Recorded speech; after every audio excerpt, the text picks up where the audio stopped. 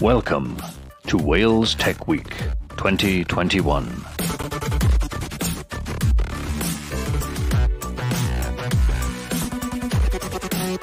Thank you to our partners. Enjoy the session.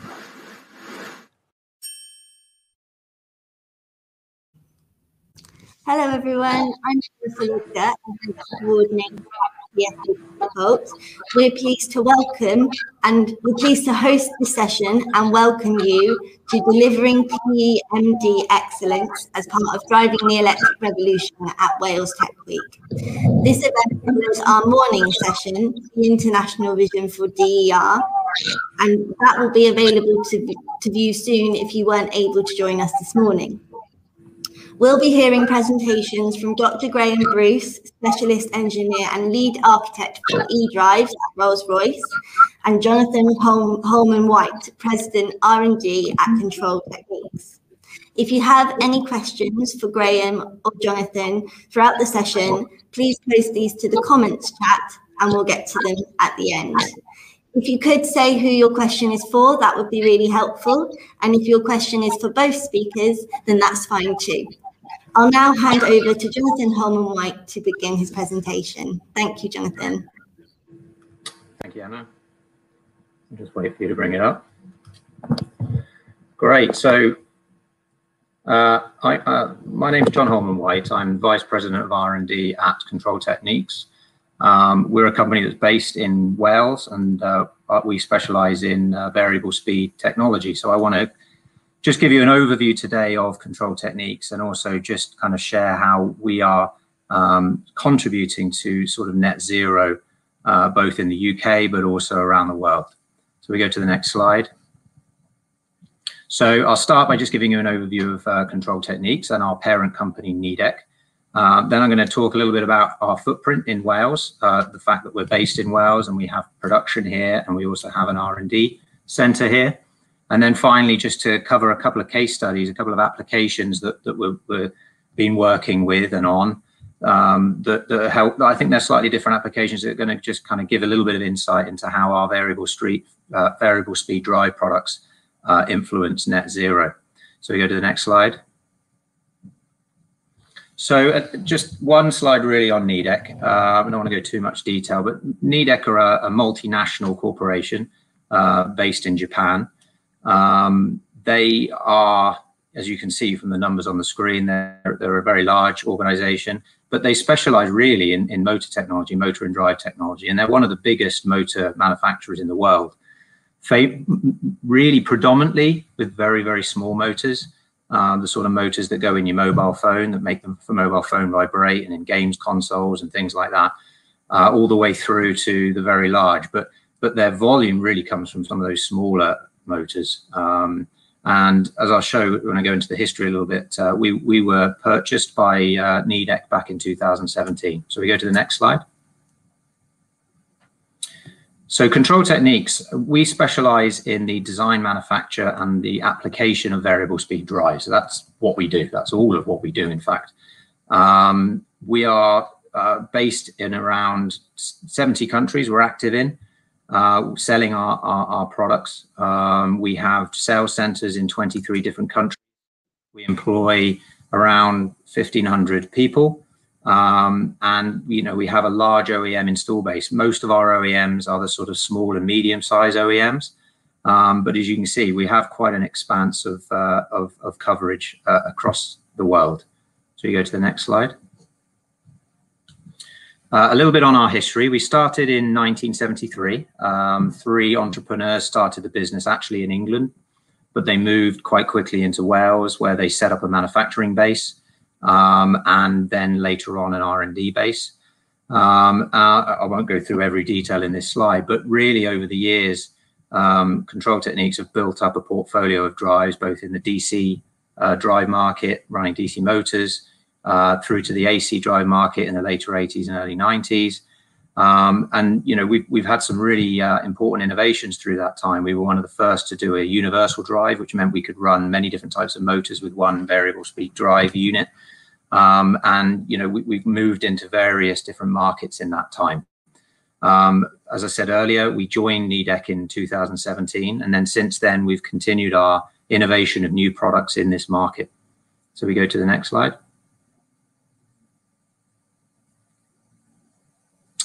So just a, a, a little insight in our uh, product range. So we build general purpose drive products. So we have, if you like, off the shelf drive products for many different applications, and I'll go into the applications a little bit later on. Generally, uh, this is this is how our lineup looks. So we have drives for the general purpose market. So that typically is things like fans, pumps, compressors, that sort of thing. Where you know there's obviously a lot of those used across the world, um, and you know our general purpose range fits into that. Uh, then we also have our performance drives, and our performance drives are, are, tailored more for the sort of motion and industrial automation market. So this is where you know you need some motion on your machine you can set that up. It's a it's a higher performance product, so it's it's closed loop on the motor. Uh, it, it's more precise, um, and as you can see as well, it goes up to larger power rating. So we're able to go from very very small, running very very small motors, all the way up to very big system motors, sort of 2.8 megawatt size, sort of running in you know big big mixers and that sort of thing. And then finally, we've got our, our servo range of products, which is a drive and motor combination. Um, and this is the very high end of, of dynamic performance where you need, uh, you know, uh, very low inertias, you know, a lot of CNC and machine movement, a lot of axes, a lot of motors on one machine. Um, and so, you know, and, and motion is, is, a very important part of, of, of, the drive. So from one end, you're sort of running a, a, you've got your general purpose drive running constant um, uh, variable torque applications and constant speed applications like fans and pumps.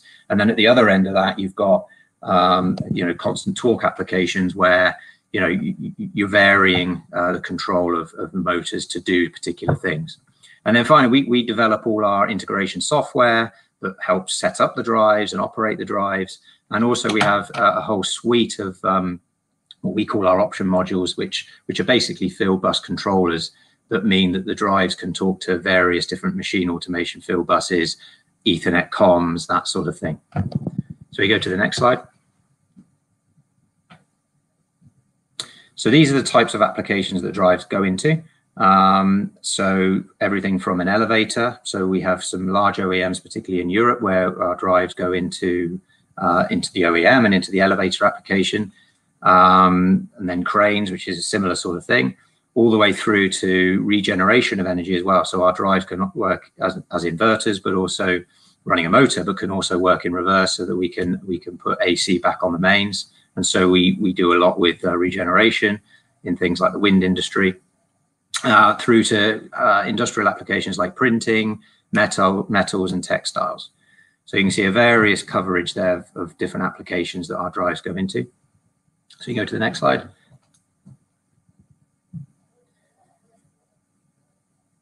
So just a little bit more in terms of, of the business and, and, and what we are doing in, in Wales. So if you go to the next slide. So uh, this is uh, our locations in Wales. So, so our main headquarters and our manufacturing facility is based in Newtown in Mid Wales. Um, uh, we've got two uh, sites in Newtown. One is uh, just for the manufacturing, and, and uh, that's a, a, um, a dedicated site for mass producing variable speed drives, all the different products that I showed you before. We've got around 400 people on that site. Town, in, on the other side of Newtown, we have a dedicated R&D site, um, as well as it being the main headquarters. So it has some other uh, functions there as well, but it's mostly for R&D. It was a purpose-built location. So it's set up specifically for developing drives and variable speed applications. And then we also have a sales location in the UK, which is just over the border in Telford, uh, which is predominantly just um, the sales for the whole of the UK. Uh, and then down in the south of England, we also have a, a, servo motor manufacturer, which is part of the Nidec group and also uh, work closely with ourselves, you know, developing the servo applications, and that's Control Techniques Dynamics. So we move to the next slide.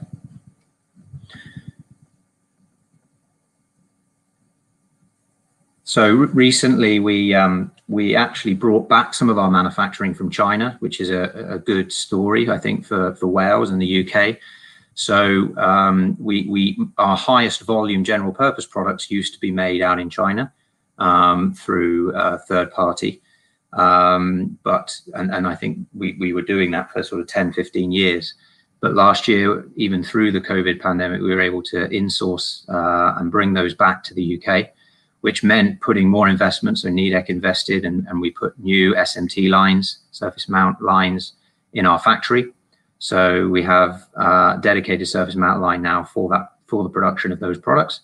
Uh, and we also increased our headcount to to to deal with the you know the increase in production. So you know I think that's a really nice story both for Wales and the UK.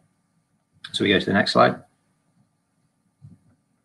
just in terms of our R&D, so uh, all, all our R&D on these products are done uh, uh, as part of uh, you know our, our development team. It's not outsourced. Um, most of that is done in the UK and done in Newtown. Um, and you can see at the top there, that's uh, our, our, UK facility in the snow. Um, as I say, we've got about 80 people here in the UK, um, is where I'm based today. Um, and then also we we have some global team members as well that support that R&D function. Uh, we have some guys in India that support it, and in China and in the US. Uh, our makeup in terms of engineering, uh, so it's a sort of 50-50 split between software engineers and hardware engineers doing the power electronics, mechanical design, and other other lab testing and that sort of thing. Uh, software obviously plays a big part in most products these days. Um, we're no exception. So software is still quite a big part of what we do. In terms of technologies, we developed all our high performance motor control technology, a lot of our motion technology. We have our own uh, solutions for that. Uh, we design our own IGBTs, so the main switch inside the drive. That's the drivers for that are designed by that. We don't design the actual IGBT itself. That's third party, but uh, we do design the, the main switch um, technology for it um, or the driver technology for it. We are we, we use silicon carbide in, in some of our power supplies. We're, we're researching the use of other technologies around GaN devices. I think there's some talks on that later in, in this session. Um, uh, and you know, you know, a lot of what we've done, we've designed over the years ourselves. So we're very proud of the technology that we have um, to give us the best performance in motor control. Uh, we develop a lot of our staff. Um, we have quite a large graduate intake, um, both locally and across the UK.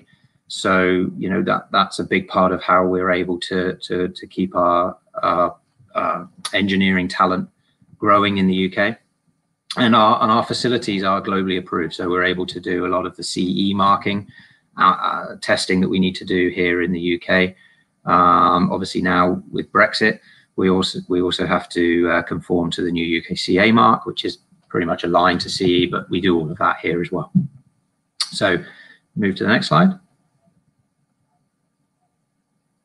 So finally, I just wanted to give some insight into some of the applications that these drives go into. So the first one, you don't need to read all the writing on the right-hand side there, but this is a, um, an application actually in France. So this was the National Library of France and our French um, uh, sales center uh, won this business, and it was something that we did in conjunction with one of our sister companies, which is Leroy Somer, who are a motor manufacturer. And it was all about energy efficiency. So it was about uh, the National Library, uh, you know, with their air conditioning, they had a very high need for air conditioning, a large building, and they realized that with the with the current motor uh, and drive combination that they had, that they were going down to something like 50% efficiency in the winter and they needed to find out and have a better solution. So they, they approached Leroy Somer, they approached us, and they basically now have uh, a hybrid motor using uh, um, synchronous rather than an asynchronous motor, uh, which gave them higher energy efficiency. In fact, uh, I think they're pushing IE5 levels of efficiency. Um, and then in that, in combination with our drive, which was not only able to run this particular motor, but also gives you that uh, extended um, energy efficiency as well. So, so this, this is an example. I mean, we, we, this is a sort of this is sort of bread and butter really for our drives and motor applications.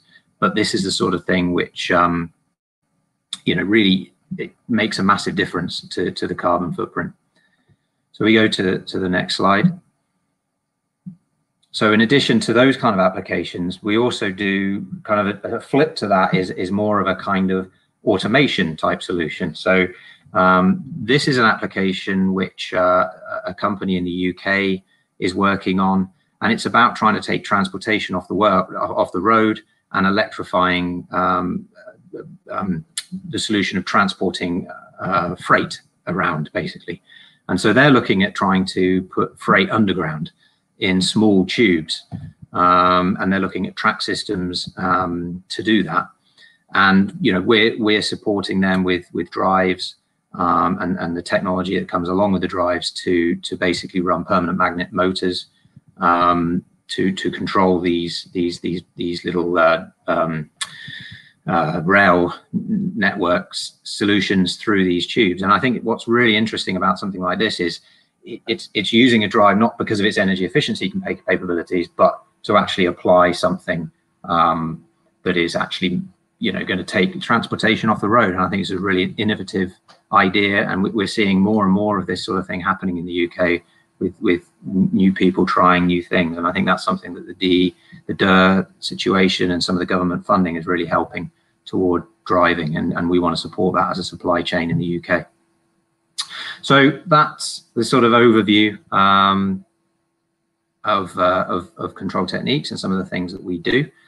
Uh, I think I'm going to hand back to Hannah now, um, so we can we can switch over, and any questions I think will come at the end of the session. Thank you very much. Thank you, Jonathan. Thank you for that great presentation. I'm just going to reshare my screen. Bear with me a moment.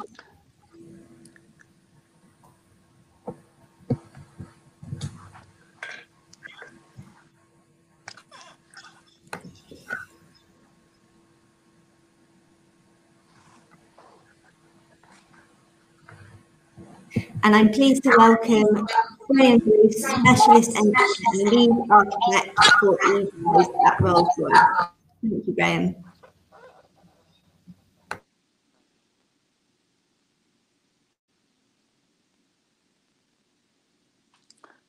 Good afternoon, everybody. Hopefully the audio is coming through um, clearly for you. I'll um, make a start. Um, this afternoon, I'd like to talk a little bit about power electronics, machines and drives, and what it means for us in Rolls-Royce. Um, so if we could move on to the next slide, uh, please, Hannah, and we'll, uh, we'll get cracking. Great. So Rolls-Royce, who are we? Well, uh, we're an industrial technology company. Uh, we design, develop, manufacture and service integrated power systems for use on land, at sea and in the air looking from the outside in traditionally, people very much saw us as a mechanical engineering company, myself included in, in yesteryears, I guess. But right now, electrification and championing electrification is front center in our global strategy. And uh, I'd just like to reflect on some of our, our products today and, and, and, where we are today in that respect and, and where we're going. So our business is split into three sectors, civil aerospace, defence aerospace, and power systems.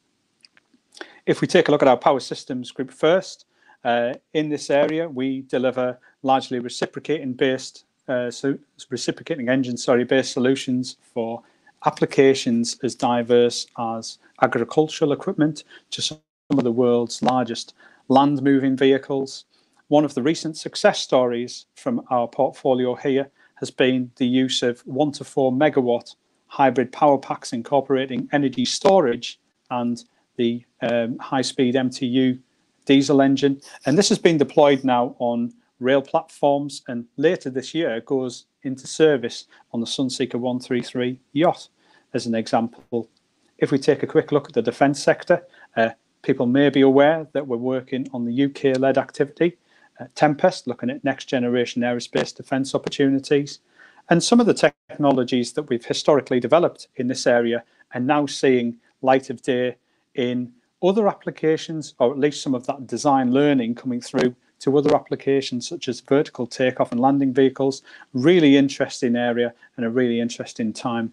Some people may not be aware we're also the UK's sovereign capability for the Royal Navy submarine fleet, providing the nuclear power and propulsion systems. I won't go into any detail, but certainly seeing a trend of similarly towards electrification.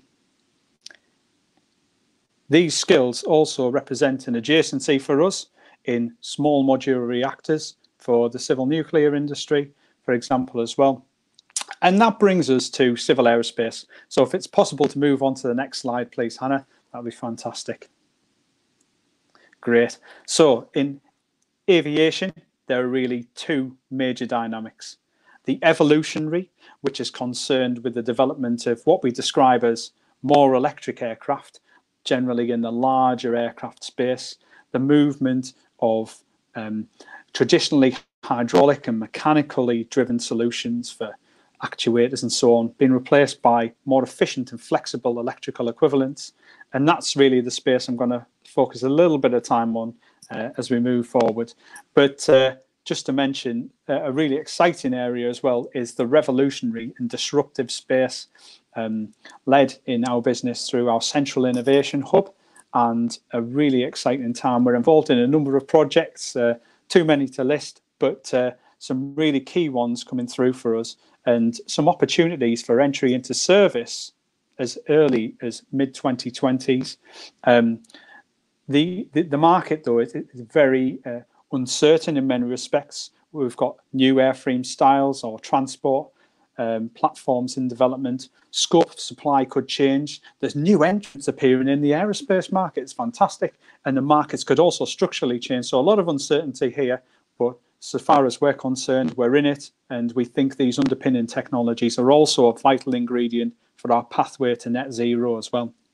Before we depart from this slide, I just want to briefly mention the aircraft you can see at the bottom of there is Spirit of Innovation, which was developed uh, through the Accel program, uh, working in conjunction with, amongst other people, YASA Motors, and also Electroflight UK Limited.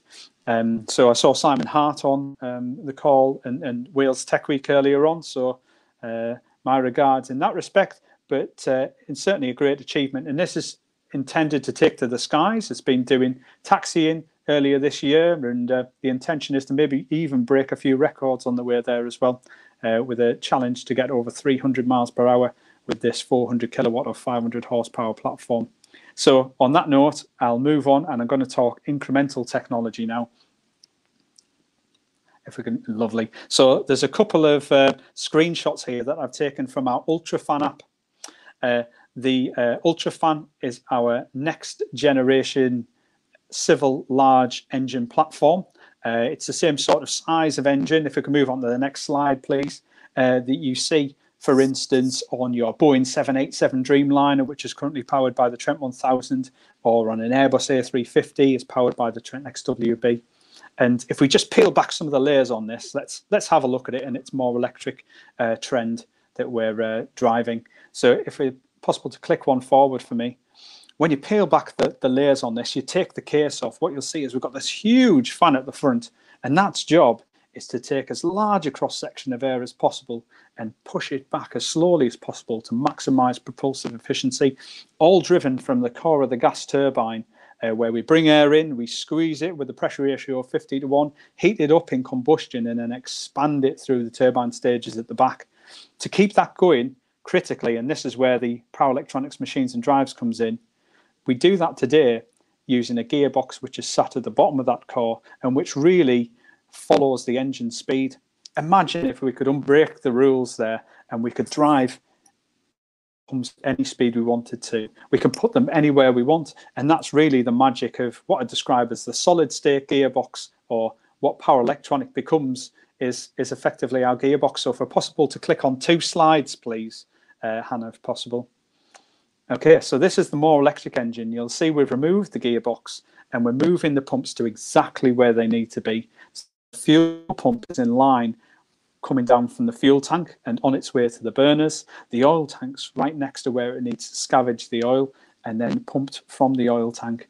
And uh, we're even looking at a dedicated air compressor uh, as part of this system uh, as well. So what we're doing here is gaining multiple percentage points of specific consumption by optimizing how we operate the gas turbine cycle and some really big benefits to come in terms of lifing of components as well. So that's the prize. And the next slide is the challenge. So if we're able to move on to the next slide. Uh, so this is um, one of our engine controllers. It sits uh, on the side of the engine at the moment, and its job is to make sure that that engine keeps on producing the thrust and control that in the way that's required by the pilot. So what we've got to do is we've got to take this electronics technology, we've got to take our understanding in the business of electrical generation systems and actuation systems and bring it all together into a fault tolerant uh, system. If our gearbox was to fail, it generally does it in a predictable fashion. We've wear mechanisms and so on and so forth. The nature of complex electronics is such that there is an unpredictability of failure, and that's why fault tolerance, being able to withstand any single fault, becomes really important for us, and that's what we're working on at the moment. So, if we move on to the next slide, I'm going to give you a little taste of um, some of our first generation demonstration hardware. So, this is working hard for us at the moment. In fact, I'm uh, coming in from Manchester today, where we're working with our university technology centres. Um, and uh, we are using this equipment to really prove out the fault tolerant aspects of our design and make sure we can deliver safe, safety critical solutions. Um, this has actually got silicon IGBT technology inside, so um, not as racy as perhaps as some of the mentions of silicon carbide, but we have got silicon carbide in our midst, and we really do think it gives step change in performance. Anyway, in the meantime, some of the other that we've brought into this design uh, is the use of ALM, additive layer manufacture, uh, to optimize our cooling system. And this has proven to be rather effective in enabling us to get such a compact design. It's all based upon our uh, background intellectual property that we've been building over a period of time. And of course, we're working with our supply chain in the UK and new entrants and SMEs as well. And a lot of that, I think, is down to driving the electric revolution, which has really opened our eyes to what is happening and what the opportunities are to work with some new people. If I could move on to the next slide, please, if possible. Okay, so what is our approach? Well, we design once and we want to use many times. We're actually using the same philosophy as we use for our existing platforms in terms of our common circuit blocks. And these actually take a single piece of functionality from an electronics point of view, capture that, and we actually develop that as a single entity that we can then drag and drop into other designs, saving us a lot of overall power on PCB. We see printed circuit boards as a really from A to B I understand I might be struggling with a little bit of bandwidth here, so hopefully it's coming through loud and clear. Um, one of the big challenges for ourselves, of course, as well, is dealing with the excitement of new technology, and we really want to be using these silicon carbide devices that are coming through, but we've got to think very carefully about how we manage that over the life cycle of the product. We could place that first component today, but we might still need to be manufacturing this component in the unit in 20 years' time and then that last one's going to be in service for another 20 years after that. So obsolescence for us is a really important uh, aspect to our design and full life cycle um, approach. Uh, on the if it's possible to move on to the next slide, please. And so, just to talk a little bit more about the environmental challenge, I have to say one of the things that I most enjoy about working in this area um, in the aerospace business is the fact that we really do go down into the nitty gritty of the design. It's so important that we understand and overturn every stone that could potentially lead um, to a failure or in service issue. And um, in and amongst all that, we've got to accommodate the environmental challenge. So I've just put a couple of bullet points down to indicate some of the areas where perhaps we've got a bit more of a headwind than, than some of the other sectors that we, we might see. So vibration levels on the engines can be generally quite large. And you can see the picture here of a, an engineer who's uh, just preparing for a fan blade off test. This engine, a BR725 engine, is going to, um, which is on the Gulfstream G650, is going to have one of its fan blades uh, purposefully detached. And the job of the engine is to retain that radially within the engine to prevent particularly hazardous or even catastrophic events from um, occurring in this unlikely circumstance. When that happens, though, we could see back at our power electronics unit on the engine of the order of 200 G shock loads, and we've got to make sure that we can retain that on the engine. Um, in and amongst some of those uh, sort of extreme elements, we've got to deal with not only high and low temperature extremes, perhaps beyond a lot of commercial off the shelf components, but significant thermal cycling associated with the everyday use of these products. Even when we turn the engine off, there's a lot of heat energy in this core of the gas turbine, which leaches out, and we must be very careful with. In the event of fire or an overheat situation, we must fail safe. And then naturally, when we're in the air, we have a greater susceptibility or at least a greater prevalence of atmospheric radiation and high energy neutrons that can cause what we describe as single event effects. So that could be perhaps a power device that gets turned on inadvertently or some of our logic that gets flipped. And we've got to deal with that as part of our functional requirements. Um, to touch upon some other aspects, um, electromagnetic compatibility. Well, when you go up in altitude, uh, you reduce the air pressure, and that gives us an increased electrical susceptibility. And then we must be able to continue operation even if the airplane is struck by lightning. So all of these things we've got guidelines, recommendations for, and we've got to take out the best knowledge in the industry and combine it with um, what we do as we, as we move forward and develop this and uh, and ultimately make a safe product. So that's just a, whistle, a very quick whistle stop tour of what uh, what's happening um, at the moment. Uh, we've got various engine demonstrator programs, and uh, perhaps given a bit more time, we could dig into some of the specifics. But at the moment, I'm going to sort of press on, ask Hannah uh, if you mind moving to the next slide for us, and just wrap up. So, I, I'd, firstly, I'd like to say power electronics, machines and drives, an, an essential ingredient, and what I genuinely think is an amazing opportunity uh, for the aerospace industry. It's going to be paced by technology and uh, I think we're um, kind of in it to win it, I'll say, and uh, really uh, pushing that technology development. Challenges do exist in deploying the required technology, but we've got good experience there, and the UK supply chain has a lot of experience in high reliability traditionally, and there's space there, I think, for new entrants as well. Uh, we've been working and expanding our supply chain and also leveraging cross-sector developments. We're involved now in a number of what might have been regarded as motive-led activities, uh, and they've been uh, opening their doors and, and listening to our side of the story as well. So it's it's really exciting, I think, in the UK at the moment, and um, long may it continue.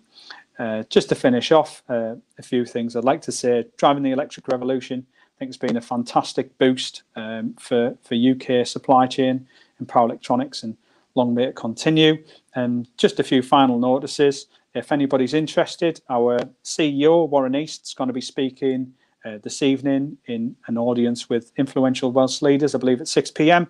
And then we'll also feature tomorrow on the future of manufacturing as well. So do look out for that.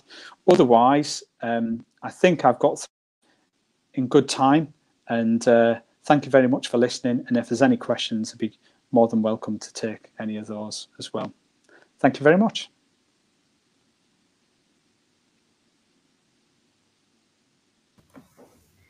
Thank you, Graham, and thank you, John, for fantastic presentations. If I can invite you both to come back on camera. Um, and then if I can invite, uh, if anyone has any further questions for John or Graham, then please do post them to comments now. Um, we haven't had any through just yet, so I just wanted to ask um, you, but ask you both if seeing what each of you have presented, have you got anything further you both like to add on delivering PEMD excellence?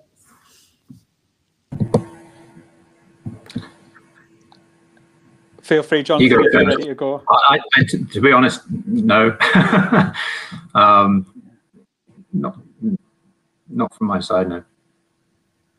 Um, but perhaps a, a, a, small comment from my side. Um, I think it's it's really the past couple of years has been a really interesting time in terms of um, really, I, guess, a bit of a pivot in where we're investing our money in research and development but uh, there's also been some significant efforts in the kind of global landscape. Uh, net zero is firmly on the agenda now. Uh, coming back better is on the agenda, and uh, we can really see that we've released our uh,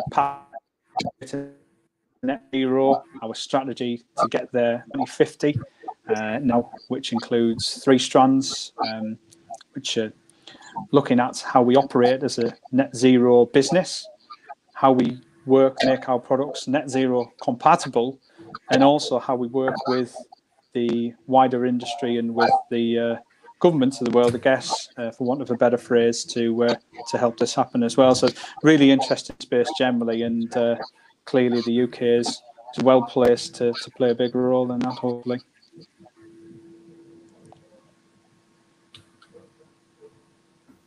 And I do appreciate that both of you got through your, your presentations um, quite quickly. So thank you for thank you for keeping to time.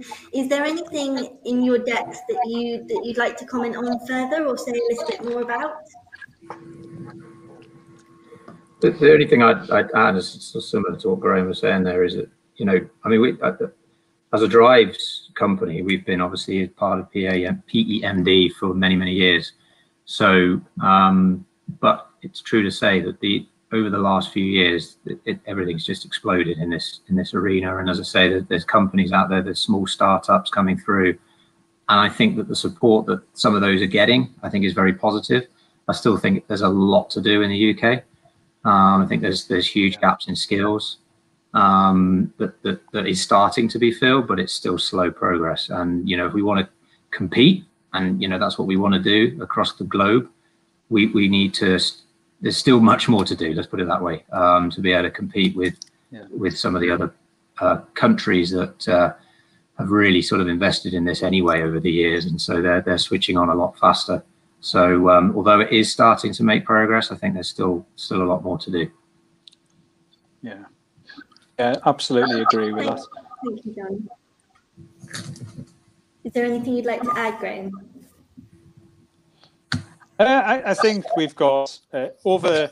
If you look over the past ten years, there's been a concerted effort to really pull the community together, and we probably understand what's happening across the UK uh, in totality for the first time, and it's probably the first time that's been done in such a coordinated way. Um, it's absolutely fantastic to have industrial drives manufacturers in the UK at scale, and what a good example of of, of how it can be done. Um, obviously, in our markets, we're more high volume, uh, sorry, low volume, high value, and uh, a different a different piece of the puzzle there. But it wouldn't it be fantastic to see so many more companies like yourselves um, producing at scale uh, and uh, for the global market as well? Yeah, absolutely. I mean, the one, one thing I'd just add to that is that there are companies willing to invest, and I think that um, you know Nidec is one of them. Um. And I think that you know I think if the opportunities are there and the, and the business is there, so you've got sort of both ends of the scale here with Graham's and mine. Ours is a much more general purpose application that, that we go into. Graham's is much more specific, but but there is middle ground to that, and um, you know I think there's there's there's loads of opportunities. And I think, um, you know, more people can get involved and through the communities that are starting to build up, I, I can see it. We, are on the right trajectory. We just got to keep going. Yeah. Yeah, absolutely. I guess. Um, you, yeah. You've interviewed. Go on, go on, Graham. Go on. No, no, it's okay. That, that, after you, Hannah. Um, I'm pleased to say you've each got a question from Nick Weeks. So, Graham, we'll start with yours. If we need power for electric aircraft and we don't have quite enough for a switch to electric cars, is the infrastructure going to be able to keep up to support your ambition? Uh, uh would it be possible just to repeat the question, Hannah? I did lose you momentarily there, unfortunately. No problem if we need power for electric aircraft and we don't have quite enough for a switch to electric cars, is the infrastructure going to be able to keep up to, to support your ambition? Um, that's a very good question. And, and I think there is a, a balance pot of, of energy as we move centric view on this, um, looking at the adjacencies from our uh, nuclear and also from uh, naval marine and with this opportunities for small modular reactors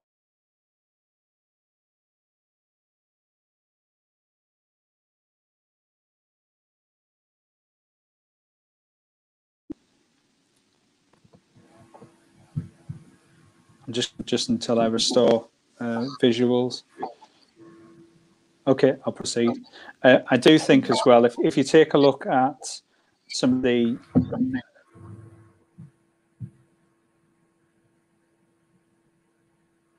Graham, if your bandwidth is struggling slightly, uh, do you want to stay on mute but turn off your camera?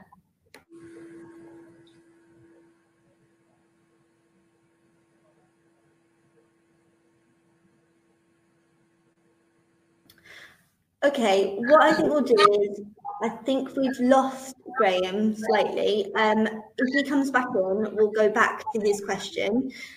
John, if we can go to you. Yep. Can efficiency support the shift of electric generation challenges over time, or is the reality of growing demand simply too large for, efficient, for efficiency gains to keep up? And I can repeat that if you need me to. No, I understand. It's written. I can read that one anyway.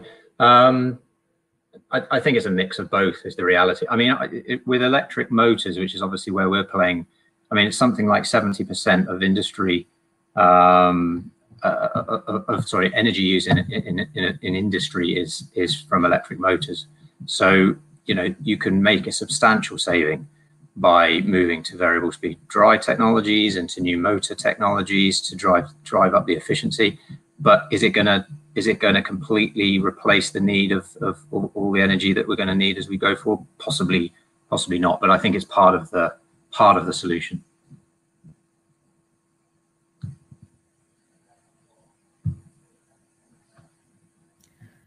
Okay, thank you. Um, I think we've lost Graham due to bandwidth issues. Apologies for that.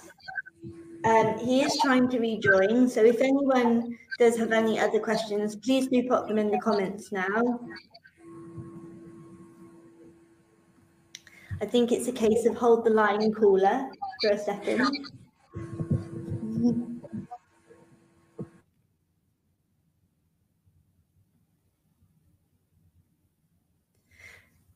Jonathan, what, just while we're trying to wait, could you say a little bit more about the graduate schemes that you that you do at NIDEC? Because that was really interesting to see that your graduates then grow into the company.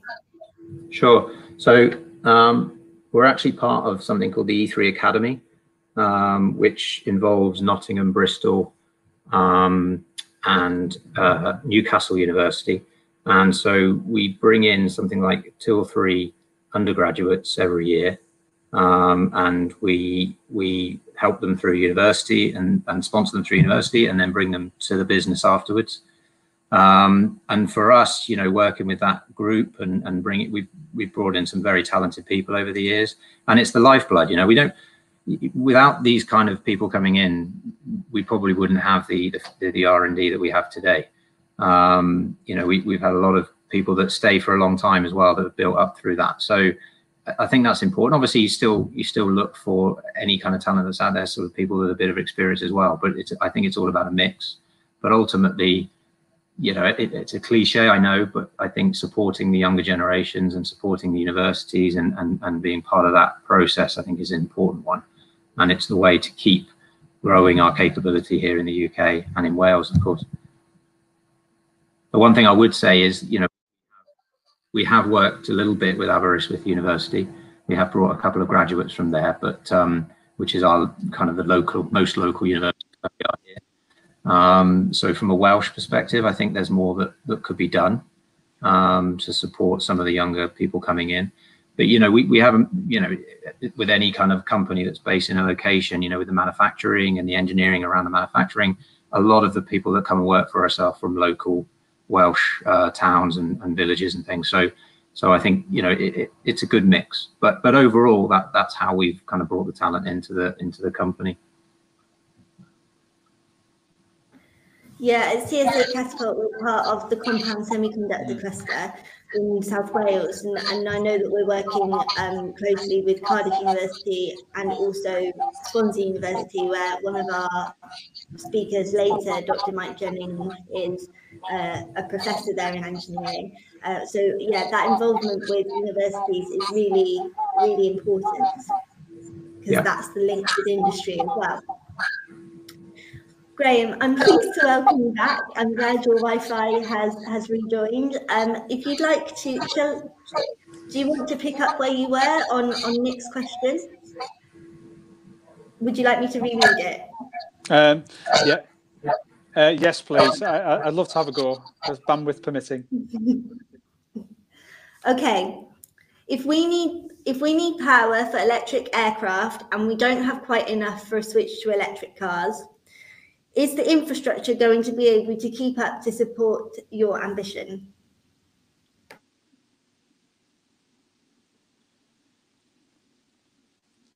Yeah, yeah, ah, yes. I'll try that one again then. uh, I think the answer is, you know, it, it, has to really, but not everything is going electric, and it's going to take a, a, period of time uh, to see uh, things ramp through. I mean, clearly there's challenges in terms of local infrastructure as people move towards uh, more electrically uh, driven vehicles in terms of hybrids and, and, and, full electric. And clearly, there's going to be an acceleration of that. Um, we've got similar issues uh, if you look at the ecosystem for aircraft uh, as well in being able to provide even at the lower power levels uh, relatively speaking the infrastructure that's required so not a simple answer but if you look across the market uh, electrification isn't just the, the, the, golden nugget, as it were. There's also the use of sustain, sustainable aviation fuels, or SAFs, uh, which offer a, uh, a significant uh, strand in that in that story and pathway. And and um, you know, obviously the other underpinning energy options that uh, form part of our um, transmission and distribution system today. hopefully that's come through reasonably clearly. yes, thank you very much. It did come through clearly. I'm, I'm glad you were able to answer. Um, with with with uh, with bandwidth in mind, I think unless either of you would like to see more on those questions on your presentations today, I think we'll draw the session to a close unless you want to add anything anything further. Okay, cool. So um, I'd like to say a really big thank you to Jonathan and Graham for presenting today and to everyone who's joined us. Uh, our third session, just note, our third session, Opportunities in Wales for DER, will run from 3 till 4 o'clock. In this session, we'll explore some of the strengths and opportunities that are available in, in Wales with presentations from Dr. Mike Jennings, as I mentioned earlier, from Swansea University, and Rob Harper from the Compound Semiconductor Centre. We hope to see you there. If you have any, feed, any feedback, on uh, delivering PEMD excellence, please do let us know. You can email events at csa.catapult.org.uk. If you have any questions on today's content or would be interested in discussing this further or potentially working with us, then please email collaboration at csa.catapult.org.uk. And please do keep uh, an eye on our website and social media for our latest news and upcoming events. I will post links to our social pages uh, in the chat shortly. Thank you very much, everyone. Thank you for joining. Enjoy the rest of Wales Tech Week.